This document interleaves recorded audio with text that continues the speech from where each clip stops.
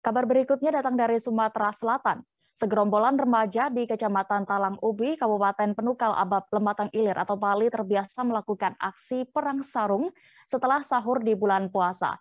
Namun demikian, aksi ceria ini kerap berujung petaka lantaran perang sarung antar sejumlah kelompok remaja juga sempat memicu aksi tawuran.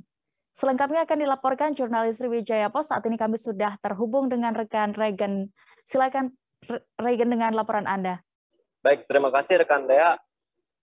Listeners, di mana pun berada, dapat kami sampaikan bahwa eh, aksi segerombolan remaja ini eh, bermula eh, usai sholat subuh berjamaah. Eh, bisa dikatakan eh, asmara subuh hingga matahari muncul ya.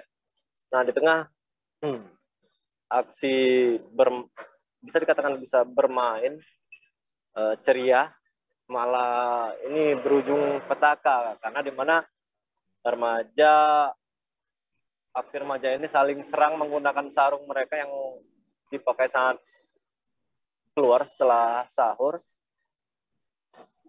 Namun eh, aksi ini terjadi antar remaja ini terjadi chaos sehingga memicu aksi tawuran. Beruntung atas aksi perang sarung ini tidak ada korban jiwa hanya saja eh, terdapat memar atau di bagian tubuh yang terkena sabetan sarung dari segerombolan remaja ya. Aksi perang sarung ini sendiri terjadi di tiga titik wilayah Kecamatan Talangobi. Namun untuk uh, mengantisipasi perang sarung semakin meluas, uh, aparat keamanan baik Polres Bali, Satpol PP, dan OPD terkait terus melakukan sweeping eh, baik dari mulai subuh eh, setelah santap eh, bahkan sudah berbuka puasa.